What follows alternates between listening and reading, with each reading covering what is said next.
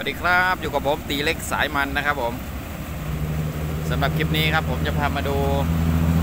บริเวณจุดน้ำล้นนะครับ ที่ชนรับประทานอ่างเก็บน้ำบ้านหนองกระทุ่มครับอำเภอแคนดงจังหวัดบุรีรัมย์ตอนนี้นั้นไหลแรงมากนะครับ จุดนี้ก็จะเป็นจุดที่ น้ำมวลน้ำนะครับ จากฝั่งของอำเภอคูเมืองครับ ก็จะมาล้นนะจุดจุดนี้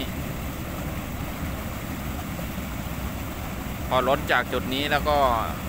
จะไหลไปรวมกันอยู่ที่ฝายแคนดงครับ เมื่อล้นฝายแคนดง ก็จึงทำให้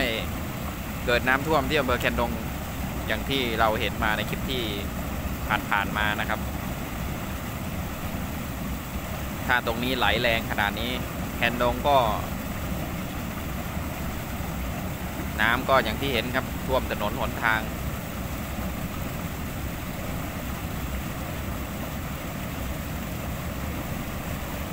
ไหลแรงมาก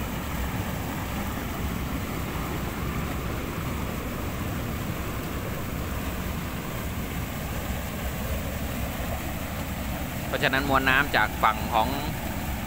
อ่างอ่างเก็บน้ำชนลำประทานบ้านหนองกระทุ่มเนี่ย ก็จะไหลไปรวมกันกับตัวฝายของอำเภอแคนดงนะครับ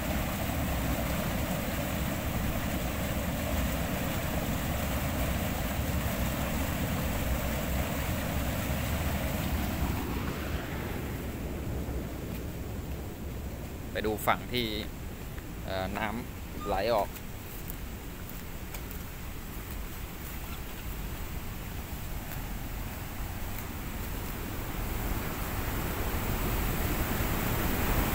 ไหลแรงมาก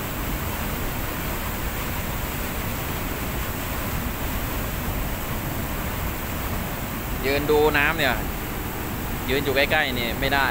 เดี๋ยวเวียนหัวตกลงไปยุ่งเลยครับ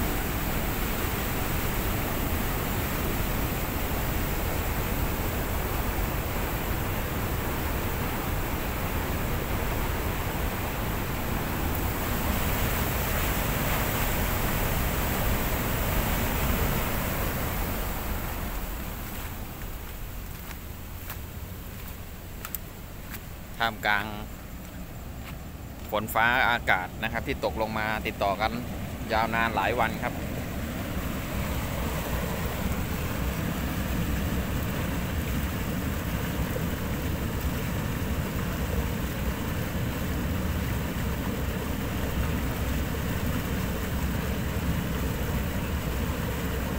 อันไหนก่อนครับ